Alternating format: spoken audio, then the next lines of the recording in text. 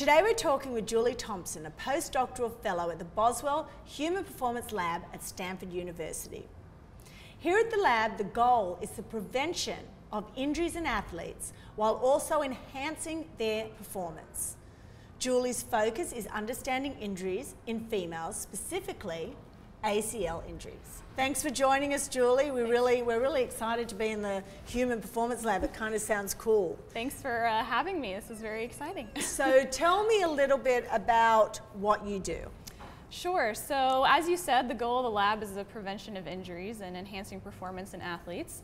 Uh, specifically, the study that I'm involved in is the prevention of ACL injuries and really understanding how those injuries happen, um, and in particular in female athletes, because it's been shown that ACL injuries are much more common in women than in men, at a rate of about four to six times higher in women than men.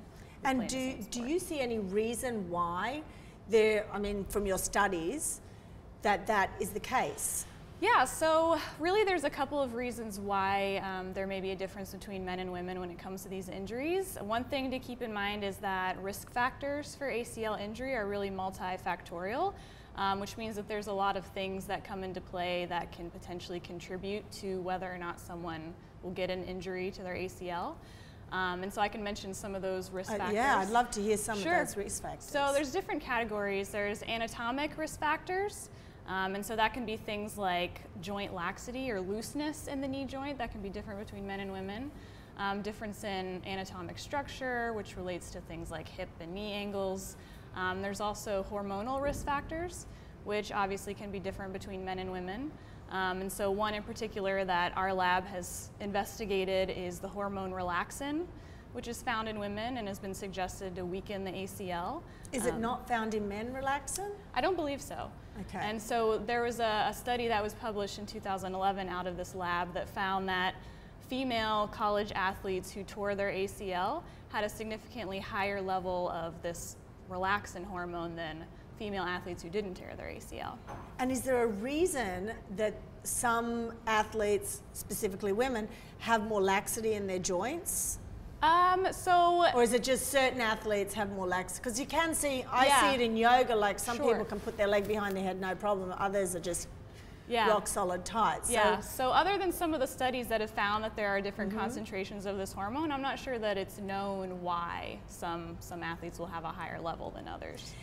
And if you know someone is prone mm -hmm. to an ACL injury because they have a high level of relaxin or they have lax joints, mm -hmm. what kind of things, I suppose you're going to take us through today, what kind of things you would recommend for those yeah. people? But what would, sure. just a few things, what would you recommend for those women? Sure, so there's um, quite a few different intervention programs that have been developed because ACL injuries are such a common problem, especially in female athletes.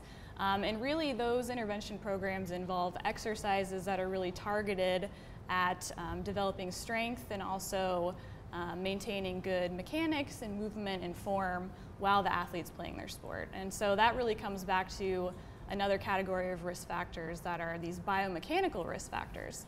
Um, and those are different than like the anatomic and hormonal risk factors because they're modifiable. You can actually change those things through exercise and strength training.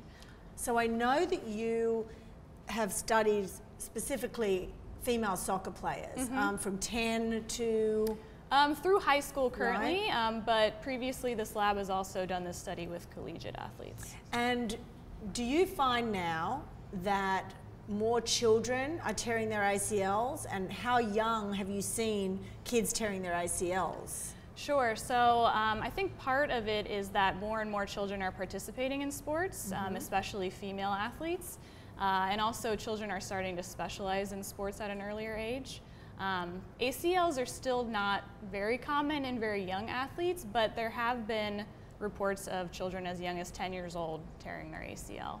Um, and so it definitely happens. And there have been studies that have suggested that uh, that late childhood stage is really a critical time to intervene and try to refine their movements so that they don't then go forward and, and sustain an ACL injury.